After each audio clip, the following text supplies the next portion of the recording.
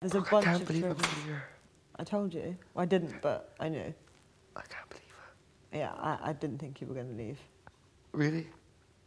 I really thought I was. Do you know the way I was so calm and stuff today? And just I felt like it was just happening.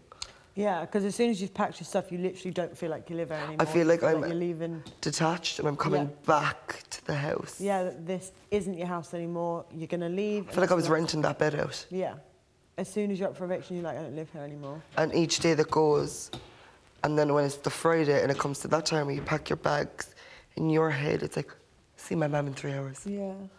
It's mad. We're on the final hurdle. We're in the final hurdle now. Well, no, there's going to be one Who more. would have thought of launch night it would be me, you, Shan, Zoe, Cameron, and Akeem? You'd never have predicted that. I couldn't. It's mad. And we're the last six. Out of 16. We're the last We're six. the last six.